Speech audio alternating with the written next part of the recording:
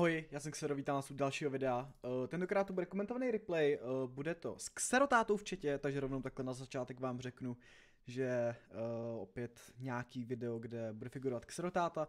A je to se strojem Panther 58 Nobly Moods, uh, kterýho máme s Xerotátou v Tunu, oba, double.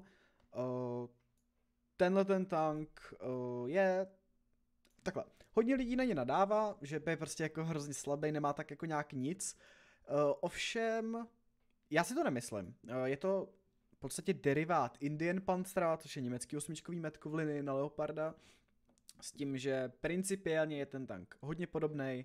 Uh, jste pohyblivý metko s takovou zvláštní jako siluetou, mm, máte 10 stupňů deprese děla, stejně jako Indian, máte Troll Armor, který uh, Troll Armor na předku pouze teda, nutno podotknout, eh, který dokáže něco ocinkat. Máte docela hodně dobrý dělo, jste pohyblivý, máte dohled a ten tank má tak jako nějak docela všechno.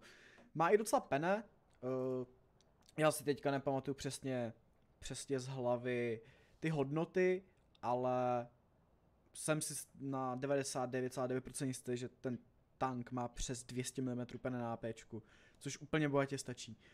Um, a mě tenhle stroj fakt seděl, eh, při 25 bitvách jsem na to měl 2800 průměr. Eh, pak to samozřejmě droplo, eh, při nějaké teďka 60-70 bitvách. Tam zatím pořád držím nějak 2,5, takže... což podle statistik je na mě docela dost, takže ten tank podle tohohle si myslím, že je docela jako, jako dobrý. Rozhodně to není tank, který je nějak jako lehký na hraní. Rozhodně ho nedoporučuji úplně ne, ne tolik zkušeným hráčům, ale jinak, uh, jinak pro hráče, který umí hrát metka, nebo celkově už týře mají něco odehráno, tak asi why not. Uh, no, k mapě slepá kolej, rozjeli jsme se na mid, klasicky nějaký nástřely. Nepřátelská četa, nepřátelská enemy četa, uh, T49 je ten, ten, ten, já ten typ úplně nepřečtu a tadyhle ten týpek z Veilu, který, který byl předtím, nepletuli se i v EZkách. To znamená, že k sobě asi nebude mít nějaký úplný pleba, že řekněme, že těch 49 jsou unikum. Takže uh, taky jste možná viděli na minimapě, že nám asi přerašovali uh, ten z naší báze uh, levý flank mapy a už nám nalítávají dozad. No, my jsme tady vyřešili uh, úspěšně tu osmičkovou husu a teďka s tátou se snažíme tady nějakým způsobem vyřešit uh, ty heaviny v tom rohu, aby jsme aby jsme měli prostě nějaký cover, protože tady jsme hrozně na openu a přesně nás můžou střílet ty 49. Ty jeden jsem tam dal docela zajímavou ránu, uh, docela snapshot, ta rána, ta rána ovšem naštěstí trefila. Uh, tenhle tak nabíjí 5,6 vteřiny, 225 alfa. Uh, opět z přesně nevím, nevím, omluvám se. Uh, už jsem asi moc starý, abych si pamatoval úplně všechny DPMK a reloady a čísla děl, jako jsem si pamatoval několik let zpátky. Ale to DPM je naprosto dostačující, uh, rozhodně to není něco jako typ 59, s kterým prostě, pokud bitva nemá opravdu 6 minut, tak nejsou schopni nic nastřílet. To bylo to metaforický tohleto.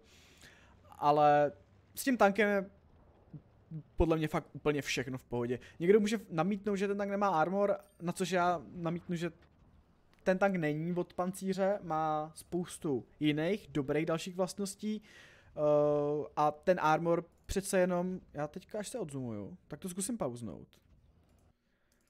A tohle je třeba skvělá pozice pro toho muce, protože pokud se mi podaří najít kamerou, tak uh, nepřátelé mi vidí zhruba tak jako jenom tady to. Ten vrchní plát je docela pod velkým úhlem, takže tam to bouncuje a ten mantlet je docela velký, takže i ta věž jako docela bouncuje, takže když se když se fakt snažíte hrát nějak jako haldown a využíváte depresy, tak, eh, tak i ten armor funguje. Teďka teda Hčko mi dal 49 za 3, za 3 kg, což je nepříjemný. A aktuálně je situace uh, 3-4, 3 na 4 a prohráváme. Uh, Tahle ta bitva se odehrála na streamu, byla to první, první hra toho daného streamu, kde jsem hrál právě s tady, toho, tady ten tank. A uh, Uvidíte. Teďka to začne být hodně zajímavý. Je to 2v4, mají naživu obě 49, Panteru, která myslím si, že je plná, jestli jsem viděl správně, a Isunu, která už moc HPček nemá. A teďka, přijede 49 a skočí na mě. OK, misnul, Pantera taky nějak rány misnul a tady. Druhá 49 hashtag na svartu. Skočil, on skočil na tu Panteru, tím pádem na mě, ne, na mě neměl prostě depresi. Já jsem ho zabil, tady se nám podařilo s Xerodátou prostě zabít tu, tu 49, mě tam pomohl ještě zápal, takže jsme asi během 10 vteřin vyřešili 2v4 situaci na 2v1. A teďka to už je vyhraný, protože jsme byli na Discordu, tak jsme se domluvili, že ho prostě každý rašneme v jednu chvíli, uh, každý z jedné strany a, a tady to už byla, tady to už byla dočišťovací práce. Uh, takže hlavně kvůli tomu endingu jsem vám chtěl tuhle tu bitvu ukázat, uh, sekundárně taky proto, že v té bitvě bylo vidět docela dost dobrých vlastností toho tanku, Uh, terciálně, protože to bylo docela pěkné MK za 4400 damage, uh, high caliber spojenec, bratři ve zbrani, 5 kg skoro 7000 damage s osmičkovýma metkama, v osmičkovém matchmakingu, v pletůnu, si myslím, že je docela hodně pěkný. Uh, měli jsme, měli jsme z této bitvy radost.